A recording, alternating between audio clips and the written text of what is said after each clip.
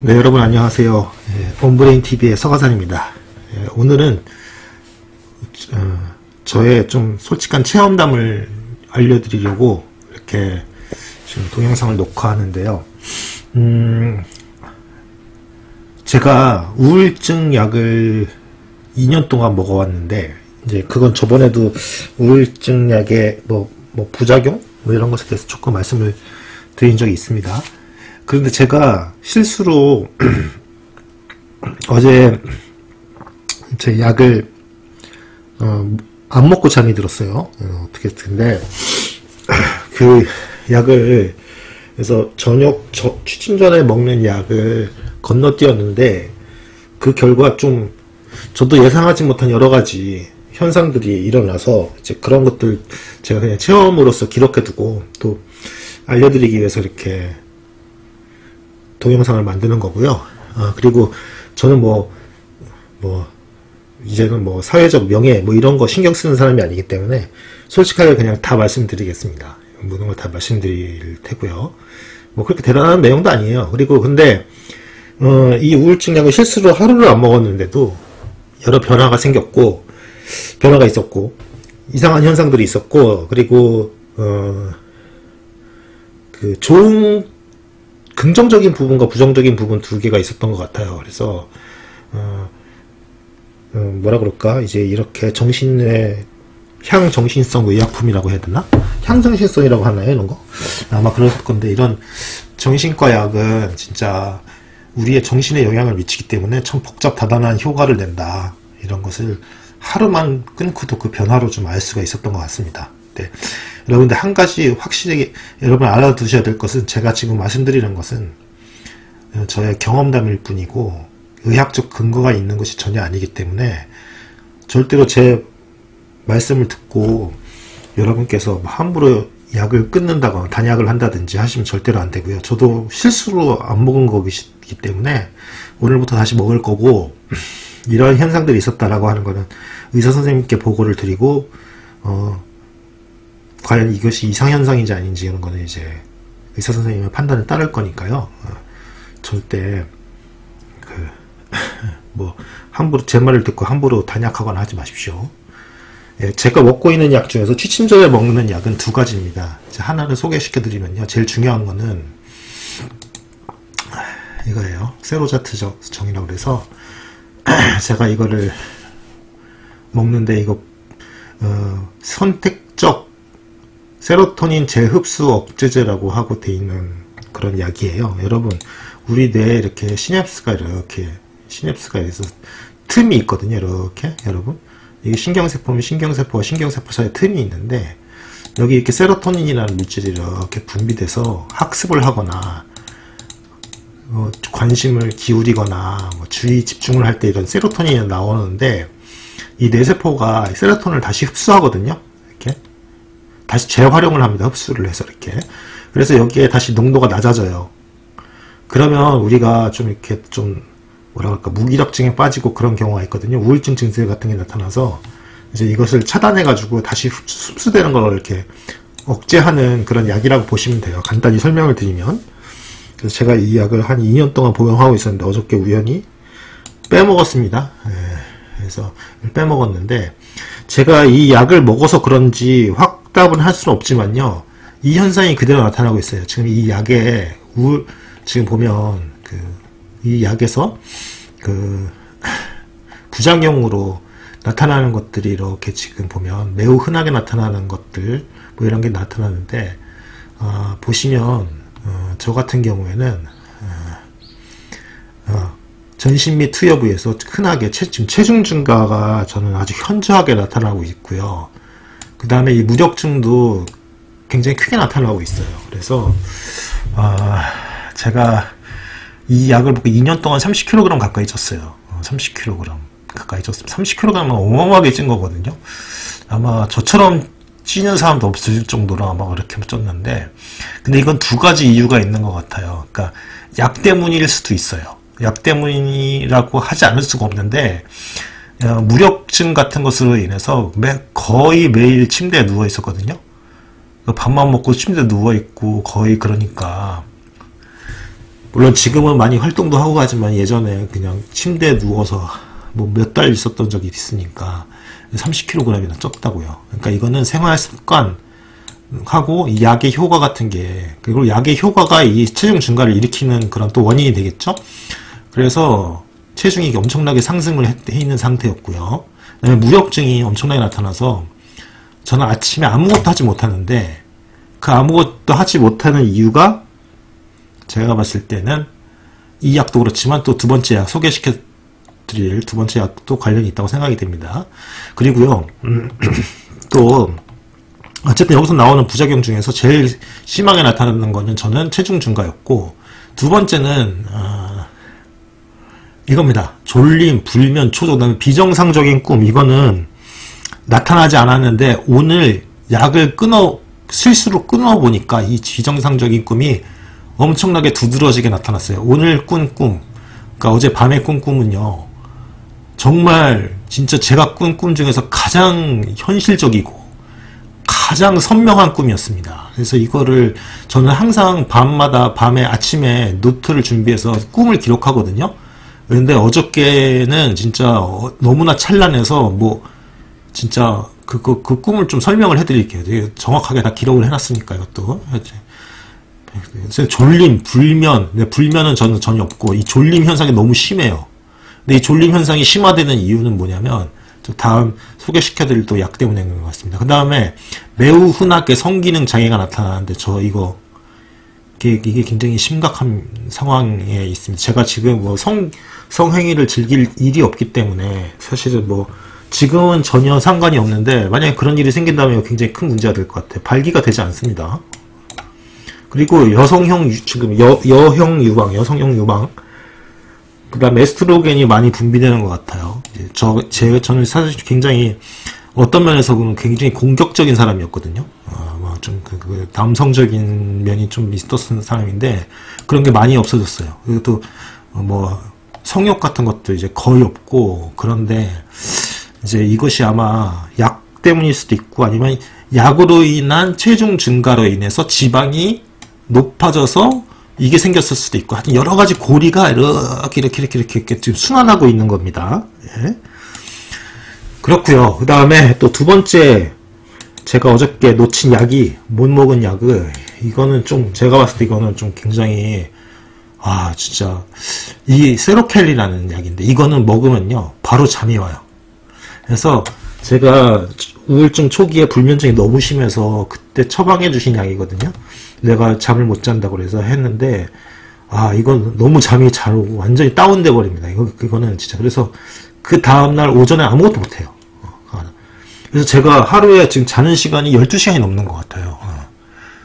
12시간이 어. 넘지. 12시간이 뭡니까? 지금 하루에 그 잠, 저 잠자는 시간이 한 14시간 정도 되는 것 같아요. 그러니까 무력증, 오전에는 무력증 때문에 아무것도 못 합니다. 예. 그래서 여기 보면 가장 흔하게 보고된 이상 반응은 졸림, 졸림. 그죠? 이거 엄청나게 졸려요. 음. 뭐 아무것도 못합니다, 오전에는. 어. 이거. 경미한 무력증. 이것도 무력증이고 저것도 무력증이니까 그냥 무력증에 빠져서 아무것도 못해요. 저 지금 유튜브 같은 것도 대부분 오후에 잠깐 찍고 어, 저기 뭐 예약해서 올리고 그렇게 하거든요. 어.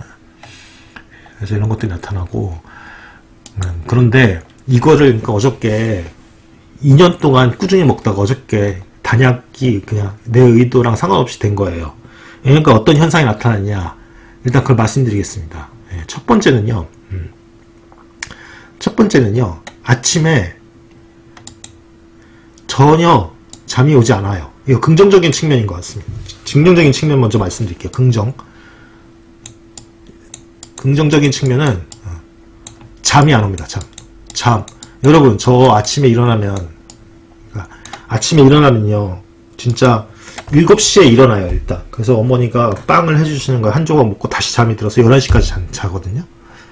근데 오늘은 아침 9시, 어, 9시를, 오늘 아침 7시에 일어나서 지금까지 지금, 지금 이 동영상 찍고 있는 시간이 1시 반인데, 은행까지 자, 자지도 않았고, 졸리지도 않고, 그 다음에 오전에는 오랜만에 제가 운전을 해가지고, 어, 정남진 공원에도 갔다 오고, 활기가 있었습니다. 그 무력증이 없었어요. 굉장히 상쾌하더라고요. 그러니까 어 항상 평소에는 아침에는 뭔가 흐릿하고 구름이 낀 것 같은 정신에 이렇게 안개가 껴있는 것 같은 느낌이었거든요. 그래서 끊임없이 잠이 옵니다. 유튜브를 틀어놓고 노트북을 노트북을 이렇게 누워 있는 자리에서 이렇게 가슴에 올려놓고 보다가 그냥 그대로 잠이 들어버리는 거예요.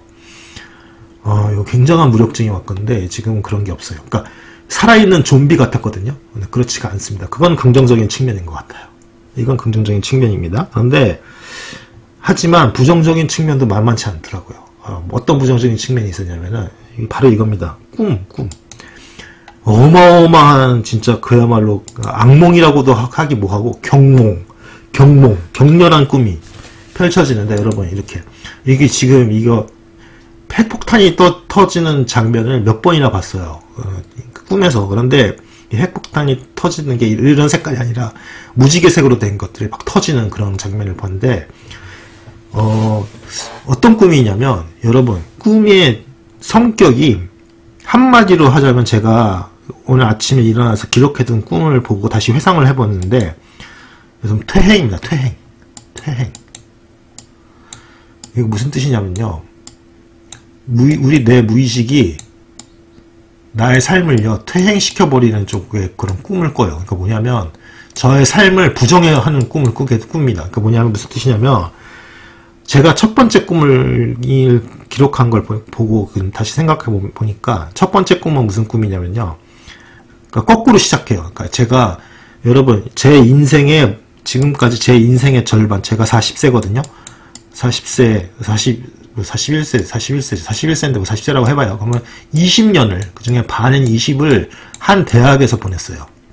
이 대학에서 학부, 대학원, 그 다음에 강사, 뭐, 뭐, 그 다음에 그, 그 이상까지 다 해봤어요. 다 했는데, 이 20년 동안 내 기억이 점점, 점점, 과거로부터 점점, 점점 이렇게 뒤로 퇴행해 가요. 퇴행해서 고등학교 때까지로 가는데, 어떤 현상이, 어떤 꿈이었냐면, 처음에 꿈은요, 강사신, 제가 강사 신분으로 돼 있는데, 이렇게 그, 그, 내가 옛날에 다니던 학교 건물에 그 강의실을 제가 제가 강의해야 되는 그 강의실 있잖아요. 그 강의실을 못 찾는 꿈을 꿈이 시작해요. 그래서 땀을 뻘뻘 흘리면서 내가 어디로 들어가야 되지? 내가 내가 강의하는 데가 어디지? 하는 거를 계속 지금 막 헤매 헤매고 있어요. 그런데 헤매다가 어 저기 어떤 한 강의실을 이렇게 들어가려고 하, 하는데 그 옆에 뒤에 창문이 있어요. 그 창문을 딱 보니까 이런 핵폭발이 일어나고 있는 장면이 보이는 겁니다. 그 다음에 그 핵폭탄에 그렇게 빛이 번쩍 나고 이런 버섯구름이 퍼지는 것까지 보인 다음에 몇 초 지나지 않아서 뜨거운 열 바람이 불어오는데 무슨 유리 그 머리에 이렇게 뺨에 찍히는 것처럼 뜨거워지면서 갑자기 그거 그, 그 꿈이 블랙아웃 해버리더라고요. 그 다음에 그렇게 해서 끝나버리고 그 다음에 조금 더 시간이 지나고 두 번째 꿈은 어떤 꿈을 꿨냐면 그 다음에 조금 더 위로 가서 그 다음에 내가 대학원생 때 꿈이 나오는데 대학원생 때 보면 대학원생 때 제가 학교 앞에서 자취를 했는데 그 자취집이 이상하게 변형돼 있어요. 굉장히 고층 건물로 되어서 바뀌어버리고 이렇게 원형으로 되어 있는 그런 꿈을 꿉니다. 원형으로 되어 있어요. 그래서 그리고 이상하게 엘리베이터가 있는 그런 아파트처럼 되어 있는 곳으로 바뀌어 있어요. 그 자취집이. 근데 자취집의 분위기는 그대로인데 그래서 들어가서 엘리베이터를 타거든요. 근데 엘리베이터가 조금 위로 가다가 그 다음부터는 옆으로 움직이기 시작합니다. 계속 계속 돌아요. 막 도는 그 회전의 감각이 계속 느껴져요. 어지러워요. 그래서 엄청 어지럽고 막 속이 미식미식거리고 막 이렇게 뭐지 이렇게 그 마치 배 위에 있는 것처럼 흔들리는 게 느껴져요. 그래서 아주 느껴지는데 그 엘리베이터 그 등 쪽을 바라보니까 엘리베이터가 유리창으로 돼 있고 세상이 뱅글뱅글 돌고 있는데 뱅글뱅글 돌 때마다 이 버섯 구름이 또 한 번씩 한 번씩 한 번씩 보이면서 갑자기 또 뜨거워지다가 또 깨, 밤에 잠에서 깨버렸습니다. 그 다음에는 또 어떤 꿈을 꾸냐? 그 다음에 어떤 꿈을 꾸냐? 그 다음에는 고등학생이 돼 있어요. 그러니까 퇴행하는 거죠. 지금 보면은 제가 강사 시절부터 강사에서 거기로 이제 그죠? 대학원생으로 그래서 고등학생으로 가 있는데 고등학교에서 제가 반장이었거든요. 근데 제가 시험 감독을 하고 있어요. 다 같은 고등학생 다 친구들의 시험 감독을 하고 있어요. 같이 제가 제가 감독을 하고 있는데 저도 시험을 봐, 보고 있어요. 같이 제가 시험을 보면서 애들 감독도 하고 있거든요. 그런데 선생님이 이거를 제가 그걸 걷어서 가요. 갔는데 교무실에 갔는데 선생님이 보더니 너 이 시험 합격하지 못하면 너 대학 그 대학교 지금 졸업장 그거 너 무효가 된다. 이런 말을 하는 거예요. 이 고등학생의 이 시험을 보지 않으면 대학교 무효가 된다는 말씀을 하시니 이상하죠? 이상한 꿈이죠. 그렇죠? 그런 꿈을 꿉니다. 그래서 저의 20년의 사실은 20년의 인생이 제가 해직되고 직장에서 쫓겨나면서 20년이라는 세월이 지금 다 날아간 거잖아요. 그러니까 그 지, 기억을 퇴행시켜서 자꾸 자꾸 이렇게 없애버리려고 하는 것 같아요. 무의식 중에서. 그거를 지금까지 그 수면제 같은 거 먹고 잠들었을 때는 이런 꿈은 이렇게 찬란하고 현실감 있고 퇴행적인 꿈을 꾸지는 않았는데 그거를 딱 안 먹고 그 안 먹으니까 그냥 바로 그런 이런 이상한 격렬한 꿈이 나타나 너무 생생해가지고요. 뭐 꿈을 만질 수 있을 것 같은 느낌이 들 정도더라고요. 그래서 이거는 참 그렇고 이건 굉장히 부정적인 악몽, 악몽 중에 악몽이죠. 예, 그래서 굉장히 이거는 부정적인 그런 한 측면이었던 것 같고 그리고 세 번째는 이거는 좋은지 나쁜지 모르겠는데 저한테 몇 1년 반 이상 나타나지 않았던 아침 발기 현상이 나타났습니다. 여러분 이거 진짜 이상한 일이에요. 그러니까 이렇게 그러니까 이 정신과 약이라는 게 우리 뇌 속에 이렇게 호르몬의 어떤 그러한 거를 조정하는 것뿐만 아니라 전신의 호르몬과도 관련이 있는 것 같아요. 어. 근데 뭐 기분이 좋았냐? 아침에 발기가 돼서 기분이 좋았냐? 전혀 그렇지는 않습니다. 그냥 뭐라 그럴까? 그냥 고추장스러운 느낌이에요. 느낌이었어요. 그러니까 뭐야 이거 이런 거. 어. 그러니까 참 이게 뭐라고 해야 될까? 제가 지금 이런 것까지 솔직하게 말씀드리는 이유가 우리의 뇌라고 하는 것이 얼마나 복잡한 기관이고 그것이 이 우울증 약이라고 하는 것이 그 그러한 복잡한 뇌의 어떤 그런 복잡한 기전을 어, 어떻게 만들까? 좀 단순화시키는 그런 작용이 있는 것 같아요. 그래서 이것을 그러니까, 그러니까 뭐냐 부전 상태로 만드는 것도 좀 있는 것 같아요. 근데 이거는 저의 그냥 생각인데 어쨌든 간에 그 안정성을 유지하게 만드는 게 이 그 우울증 약의 가장 그 그런 걸 거 아닙니까? 좀 이렇게 항상성이라고 해야 되나?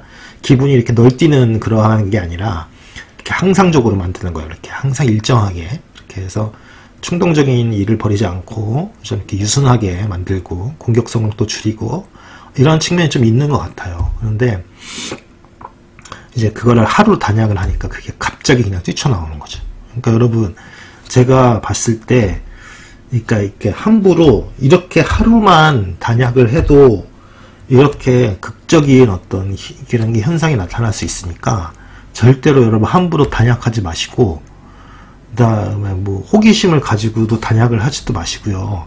항상 드시고 그리고 만약에 너무나 무력증이 심하다 그러면 저는 지금 무력증이 심한 거를 의사 선생님한테 좀 호소를 해서 약을 단계적으로 줄여놔서 조금 조금씩 줄여나가서 그 항상성을 유지를 시켜야지 너무 급격하게 그렇게 되면 절대로 안 된다. 그러니까 정신과 약은 항상 여러분 조심히 복용하시고 그 다음에 어, 복용하실 때 절대로 함부로 단약하시지 마시고 그러시라는 말을 오히려 드리고 싶어요.